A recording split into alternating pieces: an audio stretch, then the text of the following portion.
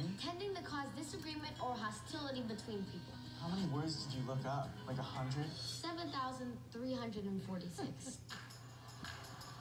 Emmett Charles is our regional debate champion. Way to go, Emmett.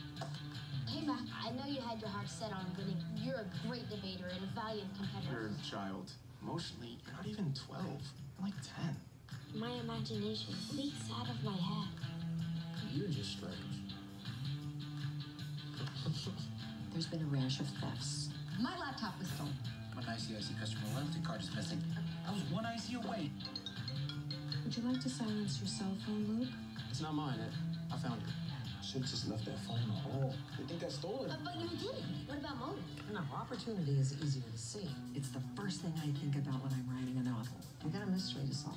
Reedy and Billy run interference. Mary, you'll be in the getaway car. All right, this is it. Okay. Let's go. I'm out alone at night with kids who are not my own, sending them into a party with just alcohol and no adult supervision. Tanya, Tanya, Tanya, Tanya. Who's Tanya? Emmett's crush. No. I thought this was She's just my friend.